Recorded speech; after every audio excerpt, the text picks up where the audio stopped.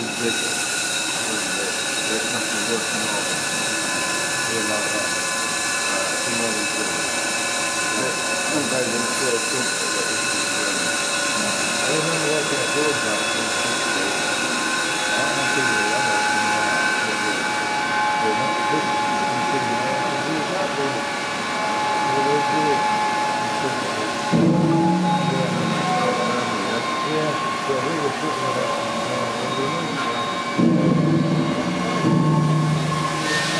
Hallelujah.